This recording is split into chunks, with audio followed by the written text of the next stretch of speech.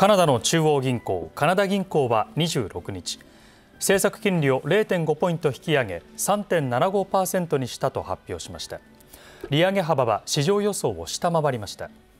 7月に1ポイントと大幅に利上げした後は前回9月に0.75ポイント今回が0.5ポイントと2回合連続で利上げ幅縮小となります。